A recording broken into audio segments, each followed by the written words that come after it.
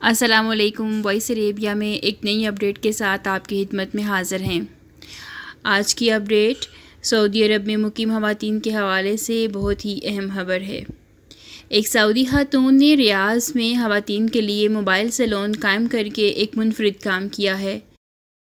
शादन अलकहतानी ने रियाज के गली महलों में एक मोबाइल वुमेन सैलून का इंतज़ाम करके ममलिकत में अपनी नोयत का पहला ब्यूटी सैलून कायम किया है।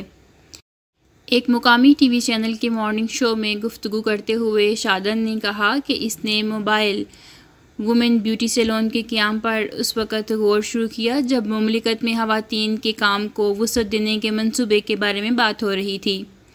इसके जहन में मोबाइल वुमेन सैलून का आइडिया आया। इसने सोचा कि ऐसी खातन जिनके पास पॉलर जाने के लिए ज़्यादा वक्त नहीं या वो बच्चों की देखभाल में मसरूफ़ रहती हैं या हामला हैं, इन्हें इनके घरों के करीब ये सर्विस मुहैया की जाए। शादल अलकहतानी ने खातन के सैलून को इस मंसूबे के बारे में बात करते हुए कहा कि इसे बचपन से ही फ़ैशन के शोबे में दिलचस्पी थी। अपने इस शौक़ को पूरा करने के लिए इसने अंदरूनी और बैरूनी मुल्क तलीम हासिल की और मुख्त कोर्सेज भी किए। इसने बताया कि सोशल मीडिया पर इसके मोबाइल सैलून को गैर मामूली शहरत हासिल हुई है।